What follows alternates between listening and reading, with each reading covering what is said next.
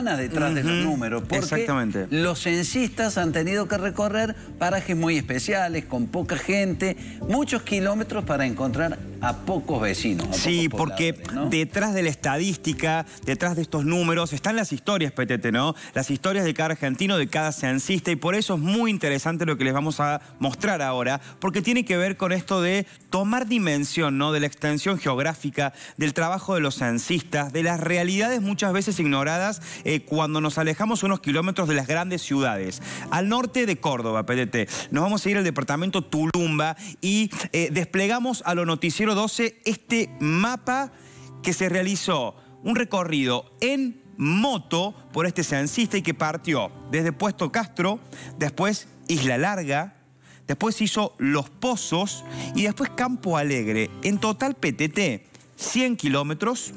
Está muy cerca, como vemos, Sí. querido Mariano, eh, de, de las costas de la laguna de Mar Chiquita, la zona habitualmente no visitada de la laguna de Mar Chiquita. Exacto, mira, 6 horas, 100 kilómetros, obviamente recorrido en moto como lo estamos viendo ahí, 52 habitantes, 12 viviendas. Y por eso eh, yo los invito a reflexionar también más allá sobre la extensión del territorio, el sentido de pertenencia, sino sobre el nivel de los problemas. Claro. Que a veces eh, uno viviendo en la gran ciudad o a veces las grandes masas de la mayoría, eh, no dimensionamos que en solo 12 viviendas de 52 habitantes todavía falta el agua, Petete. Sí, claro. Eh, el, el atraso en algunos sectores, Mm. fundamentalmente eh, en ese tramo del norte cordobés. Y me quedé pensando, en 100 kilómetros, 52 viviendas en el norte. El norte no creció poblacionalmente. Los jóvenes se siguen yendo del norte buscando mejores oportunidades. Lo vemos. Zona bien al norte de Córdoba, al norte de la laguna Mar Chiquita. Yo soy eh, de Puesto de Castro, es una localidad, y ahí comenzaría ya la parte norte de la Mar Chiquita. Y bueno, censamos lo que es eh, Isla Larga, que es el primer paraje que tenemos, después eh, Los Pozos, y después está Campo Alegre. Arrancamos allá, censar tipo ocho y media. Tampoco podemos ir tan temprano porque todavía esa hora la gente está en los corrales, ya está empezando a ver cabritos. Así que hasta que no desocupan el corral, como se dice, eh, no, no, no podíamos ir a molestar. Así que fuimos ocho y media, nueve, arrancamos y terminamos a las dos y media de la tarde.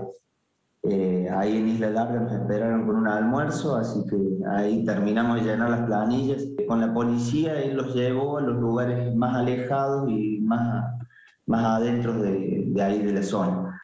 Pero bueno, eh, se demoraba mucho en la mateada, en, en compartir charlas ahí con la gente de la zona, eh, que haciendo el censo. Ahora es bueno el acceso en estas fechas porque toda esa zona es zona inundable o zona salistrosa, que no es fácil entrar en lo que es en verano. En verano es, es más complicado. Es una zona que ellos sufren la falta de agua. Ellos no tienen, no tienen agua, es la que juntan en verano y nada más. ¿eh? Así que se les está complicando mucho este año por el tema de la sequía, que puede ir a conocer esa zona y dar una vuelta y conocer la realidad. Ahora eh, es, lindo ir en esta fecha. Esta fecha es cuando, cuando ellos más la, la reman y la pelean. Claro, eh, el censista decía, Mariano, que iba a una casa y le convidaban un mate, se quedaban a conversar. También la soledad de mucha gente en el norte cordobés. No es habitual recibir a alguien que vaya, golpee la puerta y los visite, ¿no?